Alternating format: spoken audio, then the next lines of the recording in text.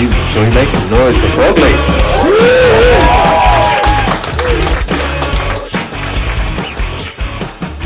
Just want to thank you guys so much for, for being here and taking part in this. We are obviously super excited to have you here. If you guys just go around and introduce yourself. Yeah, I'm uh, Leo. I'm the founder of uh, the band. Hi, I'm Eric and I play bass. I'm Hannah, a lot of yours teacher, uh, but I do a bit of singing and a bit of jumping around. I'm Rabea and I play lead guitar. My name is uh, Truls and I play drums, as you can see. Let's start at the beginning, as they say. Um, and I guess one of the main questions is, what made you want to start producing music for like YouTube in the first place? Yeah, for me it was uh, pretty random. Like I always played music since I was 14. Always liked to record at home and shoot crazy videos. If it was with like my old bands with him, we were just filming stuff, doing crazy backstage stuff around uh, Norway usually. And then YouTube came, and I started using it as uh, like a promotional tool for for the studio I had and like promoting myself locally in the area for like uh, acoustic gigs that I did.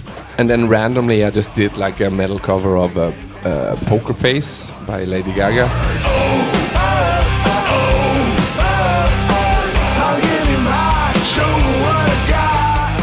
And that got like a million views online, and that's when I sat down and really thought, hmm, I like to do this, and uh, I can do it at a high pace. So I just started doing it every week, and uh, yeah, I just built from there.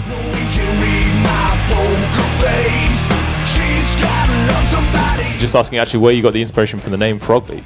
Uh, that was actually when I built the first studio in uh, Oltedal, like a village uh, outside uh, uh, Stavanger, a big town in Norway. Uh, when I built it, there was a lot of frogs there, so it's, it's easy. And then, like the thought was like, you can uh, come come to my studio and you can do like a frog leap to the next level. Nice. That's a good tagline. I like that. The correct way to say it is leapfrog. So when you put it like frog leap, then search-wise online, it's really good. It's the studio, and I think it's uh, uh, red wine in California. That's like the only two things that comes up. So perfect for like SEO and things Yeah. like that. So okay, cool. We should try that one. yeah, we should. Yeah, you, sh- you, sh- Yeah. you, you should reach out to them. Set, set, up, set up like a, a sponsorship kind of thing. yeah, yeah, definitely. I think the logo is kind of similar also. It had like a jumping frog on it. so- realized that you could start producing these videos really quickly so you started doing it like on, on almost a weekly basis how do you manage getting that much work out that quickly I think my strength is creativity. I don't second guess myself too much, and I have a lot of experience in in doing it by myself. The creative part of it is the easy part. I record like 60 tracks of stuff, so it's generally just uh, the sheer amount of time spent recording six guitars layers on it. I, I yeah, I guess I, w- I wouldn't be able to do it if, if that was like a main concern. so i guess it's just making sure you have that foundational skill set like really covered so that you can then dedicate more energy to managing the content i suppose yeah. In terms of releasing music on youtube would you say you have like a different promotional approach to releasing it on that platform versus say if you're releasing maybe like original music or something like that to doing covers, you have to have like a license uh, thing to be able to sell and stuff. When I started, there's a site called like soundrop.com where I basically just upload my song every week and and they get all the licensing from the record company and original writers get like a, a small percentage of the sale and they also like distribute it. So that part is is pretty easy. But coming from a band background i wasn't really like in the earlier days like business orientated. So i didn't know like we had maybe a small record label and stuff. I, I don't know what what they were doing. Yeah, sure. like now i'm controlling everything myself and it's pretty easy like doing what i said or also having a youtube network um, company that helps me with any questions i have but it is pretty easy to to navigate it. It, it doesn't take a lot, and I, I don't like it. Uh, like I said, I, I consider myself like a creative person. I don't want the business side of it. I just want to have fun and play music. Sure. I guess some of the takeaways from that are, you know, in, in a way, like how important it is to keep as much as you can in house, so that you have as much like control over it as well, and then only kind of like delegating when you really get like out of your depth. You know, if it's like copyright law, as a career, you know, you're probably going to be like, cool, I don't want to deal with that. I'm going to get someone else I to do. definitely- yeah, like like being a creative person, I think we all experience this. Like the more you can do yourself, there's a lot of people who doesn't do what they're gonna say they're gonna do. So you definitely, the more you can do yourself and have control over it, and just find your path of doing things. It's basically about that. Like it's all up to you and how you approach and uh, how consistent you are with this or that. It's it all comes down to you. You can't like uh, rely on anyone to to help you. I remember like record labels coming to me and they want to sign me and like had that been 10 years ago that would be like wow that this is the most amazing thing ever but now it's that i don't need that they come to me because they want to earn money so it's like the whole uh, way of thinking about it is is kind of different now than it was before. When you're working in a creative field, it's very easy to like get bogged down in the perfectionism of, of things. Would you say, especially like at the beginning, you were more focused on like just actually getting your content out there regularly versus like you know really really worrying about oh my god have I got every single little bit nailed? Or is it is it perhaps in fact that you said like recording it came so easily to you that you kind of didn't need to worry about that you definitely want to be very detailed but that then also i have like a deadline. So i know that i'm going to be finished by this day. So if that takes me three hours or 12 that's like the question but i'm gonna get done.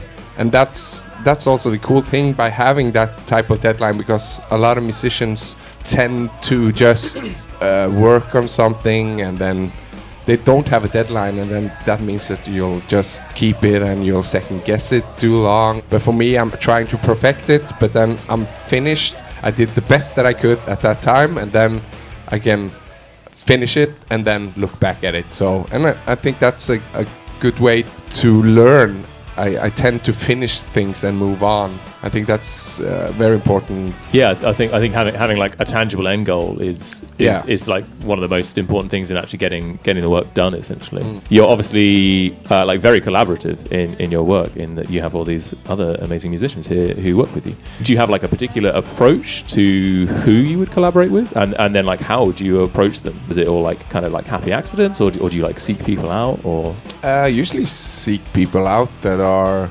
friends or like me and Ruby also. It's like we met because of music and, and YouTube, but then became friends. I could definitely be more, what's the word, like cynical about it or like, yeah, I don't want to do this because I want to make viral videos. But my thought has never been about uh, getting viral videos. I just want to have fun and uh, I want to play with people who I like and who can do something that I can't do.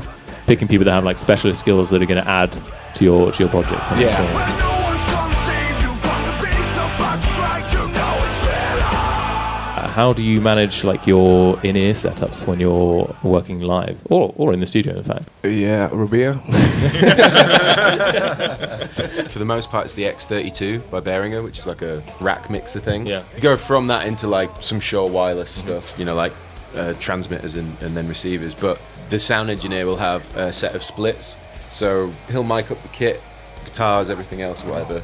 That all goes into the splits, and then one split goes to the X32, transmitted to us for our mixes, and then the other goes to James, so he can do all the sound out front mm-hmm. and not affect what we hear. Okay. It's like a separate thing, which is cool. Inside the X32, you have everything like, you know, compression, EQ, reverbs, all that. So you really dial in a mix around the kit, the guitars, vocals, everything, so it sounds nice and mixed. Yeah, know? sure. One of the things that that I discovered recently, which is really good for in ears, is the we have this little Yamaha EAD thing, mm-hmm. which Yeah, it is. it's insane Right, it's so good. because it yeah re-triggers your drums and gives you like a room sound which for your in-ears suddenly makes the whole thing sound like a mixed record Yeah. which for me personally live like i used to hate wearing earplugs or like in-ears so like i would just listen to the raw kit and it'd be ringing my ears afterwards like so having it sound that pristine is, is great. I generally just try to have a mix that's like like a record. Yeah. so you can hear everything and pick it out. Um, the first time for me starting using in-ears was with this band, and uh, it definitely takes a lot of pushing out of your vocals, especially for me being used to scream over small PAs on stage, like singing metal stuff. So that's definitely been a lifesaver. But there's downsides also, like sometimes you feel like you're locked, locked in with those in your ears. You can't hear the audience. Gonna be like, hey, I can't hear you, I can't hear you, and like everyone else said, did you hear them? Like they screamed.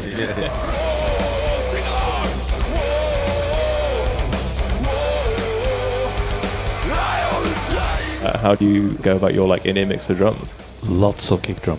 And someone else listens to my mix, they're like, what? uh, way too much kick drum for my health. But it's uh, that's why that's why I like it. For myself, I like to have uh, like the click track is almost as loud as I can. yeah, so- and, and it's always always ruined by the the damn cowbell. It's a cowbell sounding click on our Yeah. So uh, yeah. so when we're playing Always. songs that are not on the click track, it just feels weird because there's no cowbell. Do you guys uh, program any like cues into your backing tracks?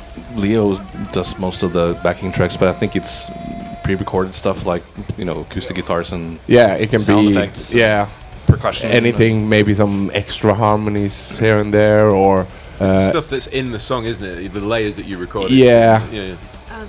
uh, the banjo. No, the banjo The, is. ban- the banjo's always live, Yeah. always live. Banjo. And we have like some. If there's some snare hits, there's extra like. Yeah, Sound. sound, effects and. So uh, our, our sound guy thinks he does a really good job, but it's like that's a sample, dude. James. What was your approach in terms of moving your stuff from like you know like like a recorded kind of environment to to starting to play live? Was there like particular inspiration for that, or, did, or did, have you like changed anything? I mean, it, it sounds a bit like you're trying to make it as true to the, the recordings as possible.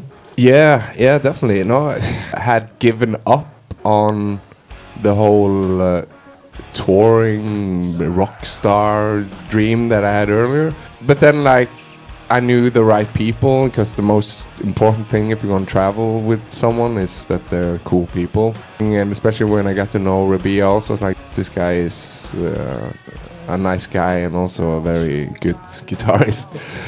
and I knew, like, I had like this uh, big fan base kind of world worldwide so i thought wow who, who doesn't want to like play cool shows and be a rock star for a few days and then go home and live your life again. I- I feel as soon as we started with this band because of the youtube channel was so highly viewed or fan based that we started at at this level like we didn't start here. So it was pretty intense and it definitely o- opened a lot of doors and uh, yeah it's definitely just fun. I just want to have fun that I guess is like the principle that's almost at the heart of this is just making sure you have fun, and it, and that's that can be a very easy thing to forget. I think you know, especially when you start getting bogged down in, in the industry side of things. It's it, you know it's important to remind yourself that at the end of the day, it's about playing music and, and enjoying yourself and Yeah. having fun, and, and yeah, you have to do all the other stuff as well, but you need to have that authenticity. It needs to be clear that you're enjoying what you're doing for audiences to like you know to connect, even if it you know be it live, be it watching videos, like they have to be able to see that you are authentic and enjoying yourself. a lot of feedback that i get on my channel also people can see that i'm uh, i'm having fun doing it. For me it, it's definitely isn't like an uh, economically uh, question about it for live either. I, I could make more money just staying home and doing youtube. Uh, it's just a motivation to to do and i think uh, most musicians are like that we do it because we it's something in us that's uh, want to do it. it. It isn't about money.